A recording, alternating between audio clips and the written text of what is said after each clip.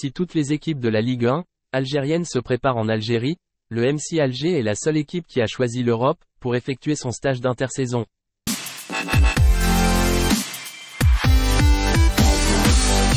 Elle se trouve actuellement en France, plus exactement à Rennes, en Bretagne.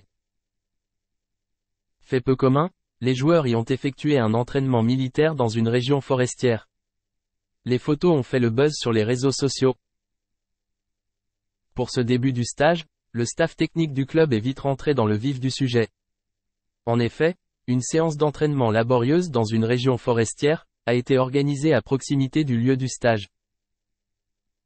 Le moins que l'on puisse dire, c'est que le club a programmé un entraînement militaire. Les photos publiées par le site officiel du club algérois, ont fait le buzz sur les réseaux sociaux. Même le préparateur physique du club était vêtu d'une tenue militaire.